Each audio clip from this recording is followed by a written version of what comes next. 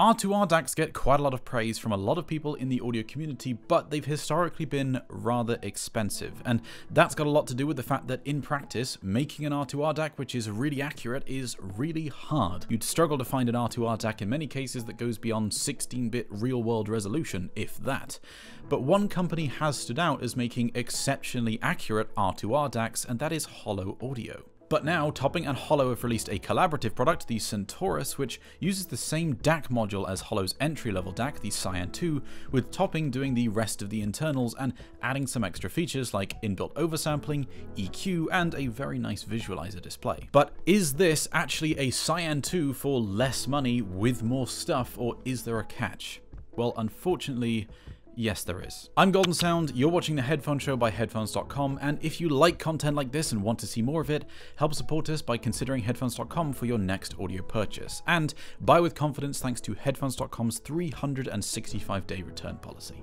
I was quite excited when I heard about the Centaurus being released because for a while now, I've been quite a fan of the Holo Audio products. Their flagship DAC, the May, has been the main DAC in my speaker system for a number of years now, and the Cyan 2 has been exceptionally impressive for its price point. But it did have a few lacking features like inbuilt oversampling. It was a NOS-only DAC. So when the Centaurus was announced, it seemed like it might not only be a way to get a Holo R2R DAC for less money, a more accessible price point, but with internal oversampling and EQ as well, that sounded fantastic.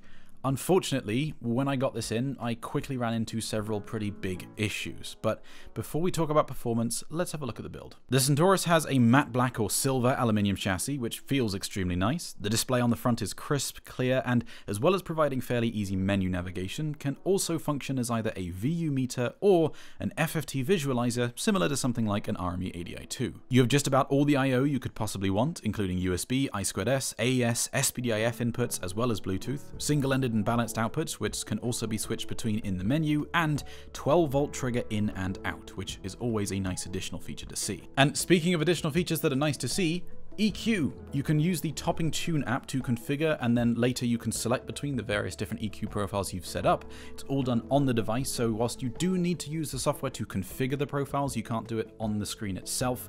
Once you've got them configured, you can use this wherever you like or plug it into whatever you like and then just select between the profiles on the device. I'm really glad to see that EQ is coming to more and more products.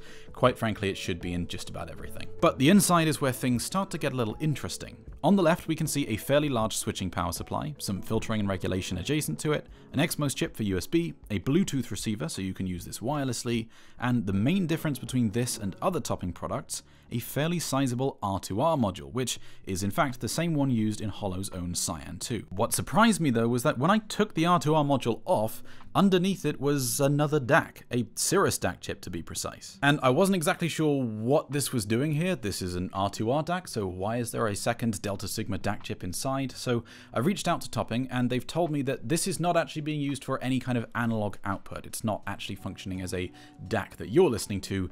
Instead, it's helping to facilitate the FFT visualizer on the main display. I can't give the full details of what they've said, they've asked me not to share it, but all I can tell you is that the explanation makes complete sense. It's not doing anything nefarious. The output stage can be seen on this daughter board, and they're a fair bit smaller than what we see in the Cyan 2, but overall this DAC does look pretty nicely built, and the question I had then was, how is it in comparison to the Cyan 2? Well, for the measurements, what I wanted to do was get some measurements of both the Centaurus and the Cyan 2, but without unit variation in the R2R ladder as a factor at all. So, instead of just measuring both as they are, I measured the Centaurus and then I transplanted the actual DAC module itself from this into the Cyan 2 so that the R2R module is identical and we're just looking at the differences between the Centaurus as a product and the Cyan 2 as a product. Out of the box, the Centaurus is set to best OS mode and that will be important in a moment. With the DAC set to 5 volts output, it gets a little below minus 100 dB total harmonic distortion and noise, but if you then change it to 4 volts output, which is also the stock setting, that improves to around minus 110 dB, which for an R2R DAC is excellent. The Cyan 2 for comparison just comes with a 5 volts output, and it gets about 1 dB better performance than the Centaurus does, at 4 volts. But if you use DSP volume control to reduce the level on the Cyan 2 down to a matching 4 volts, it's still about 110 dB, so it does seem that the Cyan 2 ever so slightly edges out the Centaurus in raw performance in a head-to-head -head comparison, but it's extremely minor. However, things really start to show major differences in performance when you disable the best OS mode on the Centaurus, since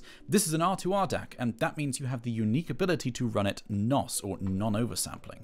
R2R DACs, unlike Delta Sigma DACs, can convert PCM samples natively with no DSP needed whatsoever. For 48 kHz content running in NOS, the Cyan 2 and Centaurus seem to behave very, very similarly. They're splitting hairs in terms of the difference. But once you start playing 44.1 kHz music, which is the vast majority of music content, the Centaurus really starts falling apart. And a bunch of other issues start showing up as well. When you run the Centaurus in NOS, it seems like the two channels aren't actually perfectly in phase with each other, so playing a high frequency tone, you can see that the two don't overlap, they are slightly out of sync with each other.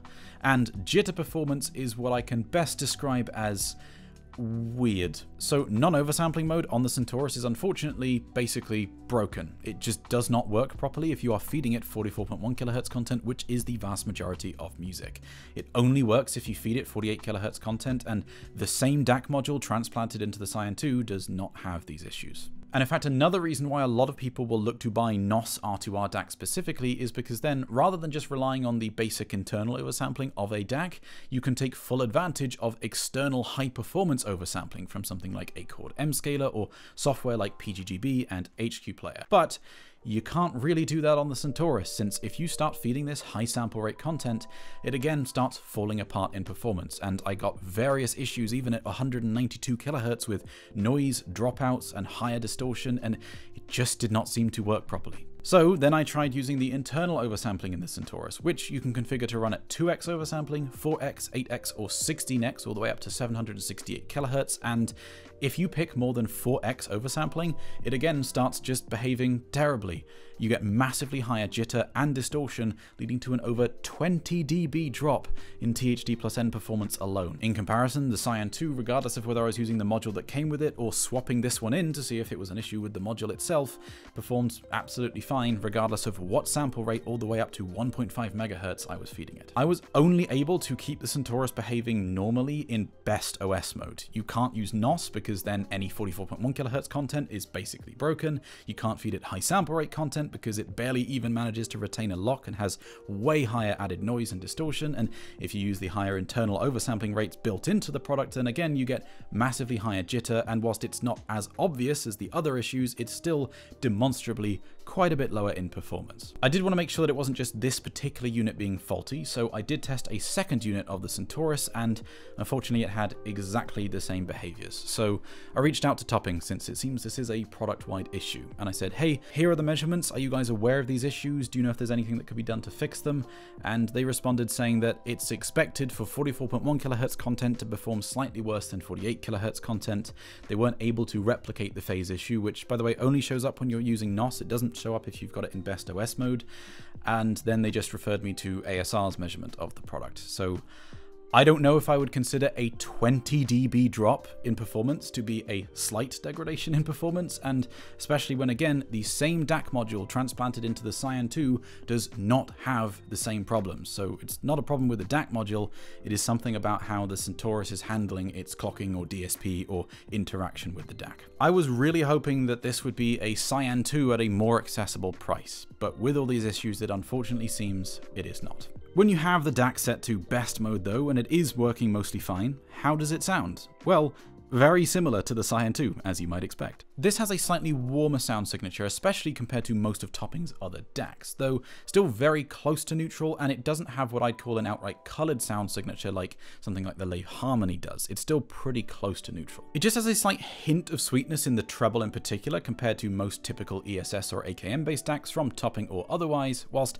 likely thanks to the pretty excellent objective performance of this DAC, still being fantastically detailed. Staging on the Centaurus is pretty fantastic fantastic, and whilst not at the same level, it's starting to give you some of the flavour I get from the Holo May in terms of how tactile it positions things within the soundstage, not just how big an area it sounds. And I much preferred the way that timbre of both vocals and instruments, pretty much no matter what I was listening to, came across as notably more realistic, more convincing on the Centaurus than any of the other topping DACs that I've heard thus far. It was a little bit tough to get a direct head-to-head -head comparison between this and the Cyan 2 since if I keep this and the Cyan 2 in NOS and feed this 44.1 kHz content, which is most of my music, this starts falling apart, so we can't do that.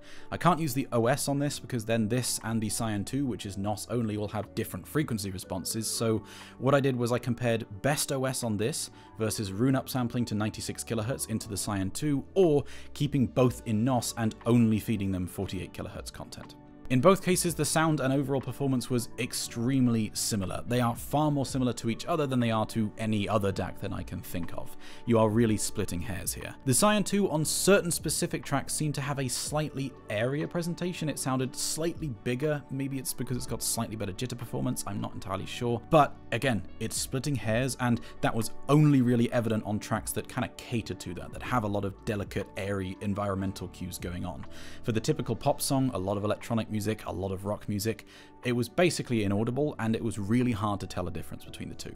The one aspect that was perhaps slightly more consistent was that the Cyan 2 did seem to have slightly better separation, or background if you want to call it that, uh, for busier tracks. Pain by the War on Drugs is a song that I go back to a lot for this kind of testing, and it was just slightly easier to focus and pick out on one particular instrument than it was on the Centaurus, but again, I want to make clear it's really splitting hairs. The thing is, the Cyan 2 is 20% more expensive, and so in normal circumstances, I'd be inclined to say, well, there's a couple small instances where it was slightly better, so maybe the 20% is worth it, but honestly, probably not.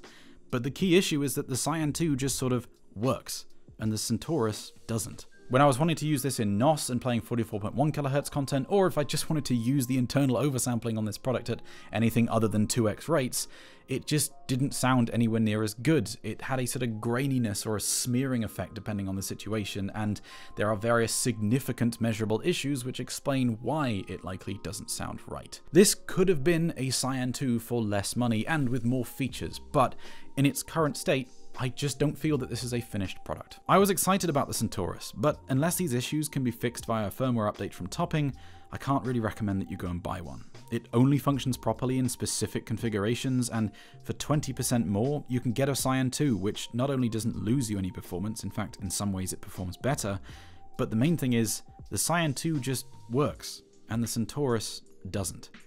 So for now, the Topping Centaurus is unfortunately a miss for me. I hope you enjoyed that video, and if you've got any questions that you wanted to ask about the Centaurus, the Cyan 2, any other DACs, music, measurements, or gear, then head over to the headphones.com forum, which recently had a nice revamp, you should go and check it out, or come and say hi on the headphones.com Discord server.